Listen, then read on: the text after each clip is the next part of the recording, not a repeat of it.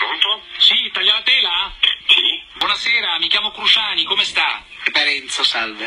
Sì, salve, buonasera. Come andiamo, taglia la tela? Bene, bene. Senta, voglio capire una cosa, ma lei fa parte della commissione antimafia? Sì, ci faccio parte da moltissimi anni. Ecco, ma che ne pensa di tutta questa storia? Perché non si, è, non si è sentita la sua opinione in questi giorni, di questa storia di Agnelli, insomma. Sono convinto che da parte della società sia stato sottovalutato, nella migliore delle ipotesi, Eh. eh, il ruolo del- dell'indagato per reati così gravi come quelli dell'appartenenza alla andrangheta. Le pare vista sportivo che Agnelli debba essere punito?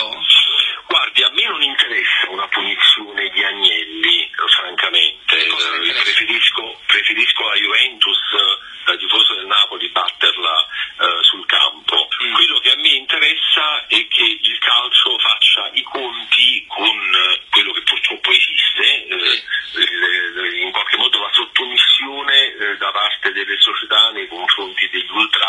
Ma quello avviene per eh, tutte le squadre però, eh? Non è che per però guardi, io per carità, è vero che io non sono un soggetto idoneo a- a- ad essere considerato al di sopra delle parti, nel senso Beh, che soprattutto sono... perché lei dice non bisogna sottomettere degli ultra, ma c'è una fotografia eh, in cui lei eh, ha questa sciarpa con scritto Juve merda. Eh, E e questo che c'entra con gli ultra che fanno non, è, violenze negli non è un messaggio di pace, diciamo. Poi lei no? ha anche un ruolo istituzionale, caro. Per carità, ma io Eh. nel momento in cui definisco una squadra in maniera negativa, non mi pare che questo non mi possa permettere di, di esprimere le mie posizioni. Stavo Cioè, secondo lei Sì, merda, lei non non è un ultras, credo, no? Io Non è sono assolutamente, da un punto di vista della passione e del tifo nei confronti del calcio Napoli lo sono. Cioè lei è un ultras del Napoli? Assolutamente sì. Cioè dire Juve merda è normale? È una cosa che ogni tanto da un punto di vista calcistico diverte. Cioè lei lo dice ogni tanto allo stadio, e Juve merda, Juve, Juve merda, che ne so, Qualche magari...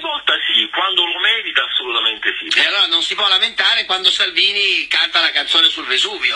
Perché Beh, mi anche pare quella... che ci sia una differenza No, fondamentale. anche lui, a me sta, non sta simpatico Salvini. E siccome Salvini dice io sono un tifoso del Milan e il Na- era un canto contro il Napoli, Puzza No, non, è- quello non era un Senti canto contro il quanto Napoli. puzza. No, no, Scusi, era un però. canto contro la città. No, ma è un Il coro calcistico, è un però, è un- coro Eh, calcistico, no, io lo dico, no, a me no, Salvini non sta simpatico, allora, ma se lei, lei- dice Juve è merda ed è un rappresentante delle istituzioni non si può poi lamentare se qualcuno se la prende con lei perché dice Juve merda, eh scusi, è Ma che significa? Augurarsi che i napoletani vengano lavati col fuoco è la stessa cosa? No, ma ci sono È un cori coro calcistico. È un Vale, comunque no, no, no, calcistico. no, allora, Ma scusi, che nei professore, però- confronti del- di Napoli città Mm. e dei napoletani, a prescindere dalla vicenda del tifo calcistico, viene un atteggiamento di pregiudizio. Sì, d'accordo, ma Lei lo lei è un rappresentante delle allora- istituzioni e, è- e allora- e ha esposto e dice anche che è normale gridare. Juve merda allo stadio. Eh, ammetterà che Quando rispetto ai tifosi... merita, quando se lo merita assolutamente E quando se lo merita, scusi? Quando ci sono dei favori arbitrali, quando si comporta... Perché la Juve è favorita dagli arbitri, scusi? Beh, mi pare proprio di sì. Cioè la Juve è favorita dagli arbitri. Cioè i campionati sono falsati, secondo lei? Beh, mi pare che alla Juventus siano stati revocati degli scudetti. No, prima, anche adesso sono falsati i Allora, campionati. lei, lei immagina che quello che è accaduto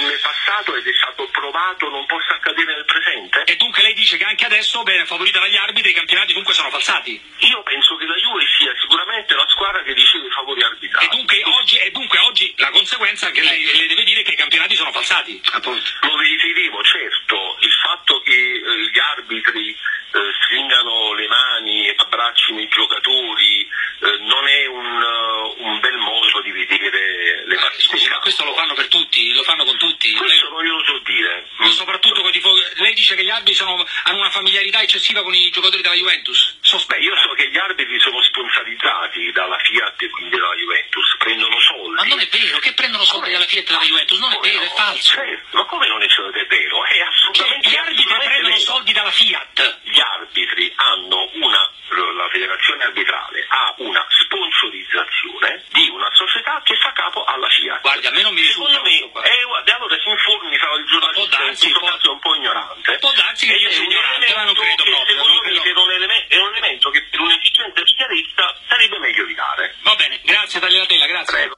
Allora ragazzi, la notizia che in sponsor degli arbitri questa società di assicurazione, com'è che si chiama, Eurovita, la Provita, Eurovita, no, Provita non c'entra niente, non mi ricordo Quella nemmeno. Sì, quella, quella è un'altra cosa.